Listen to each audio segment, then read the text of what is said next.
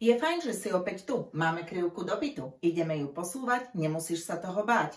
Funkcia dopytu vyjadruje vzťah medzi požadovaným množstvom a jeho cenou. Cena je základný faktor a keď sa mení, tak sa pohybujeme po krivke smerom nahor, keď sa cena zvyšuje a smerom nadol, keď sa cena znižuje. Ale čo keď sa mení niektorý z ďalších faktorov za predpokladu, že cena ostáva nezmenená? Vtedy hovoríme o posune celej krivky dopytu.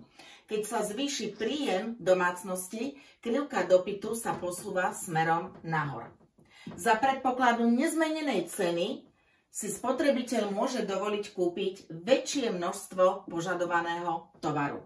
A čo keď sa zmení cena substitučného tovaru? Ako príklad si môžeme uviezť kávu a čaj. Do obeda si v bufete kupuješ za 1 euro kávu a po obede za 1 euro čaj. Na druhý deň zistíš, že cena kávy sa nezmenila, ale čaj sa zvýšil na 3 eurá. Cena čaju sa zvýšila na 3 eurá.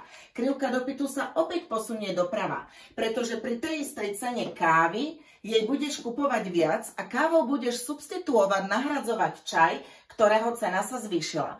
Ako je to s komplementárnymi tovarmi? Ako príklad si môžeme uviesť auto a benzín. Liter benzínu stojí euro 50, povedzme, že jeho cena sa zvýši na 6 eur.